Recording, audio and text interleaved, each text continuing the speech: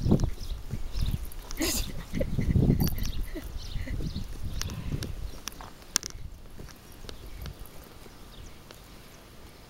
going to be dizzy in a second.